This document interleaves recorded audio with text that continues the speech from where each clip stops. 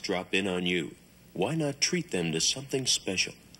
A delectable assortment of Graft cheeses, the sharp tang of old cheddar, smooth, creamy Velveeta, or our bland and surprisingly popular Graft processed slices.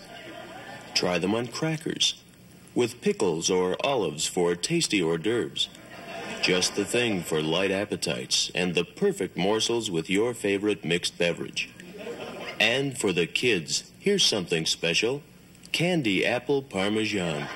Hot melted Graft parmesan cheese over candy apples, Hershey bars, and bubble gum. The perfect thing for after school snacks. And for the heavy appetite, try this recipe out for size. Take a slice of your favorite bread. Now spread an ample portion of Graft Cheese Delight over top. Mmm-mmm.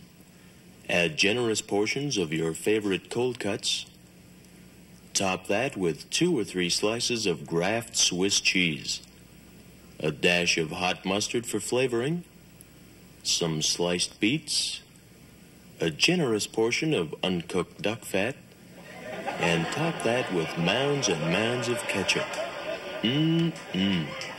To that we add one raw egg, a dash of mayo, ample portions of creamy peanut butter, some tasty smelts, one garlic clove, some chopped chicken livers, more ketchup, and top it off with a leaf of lettuce and another slice of bread.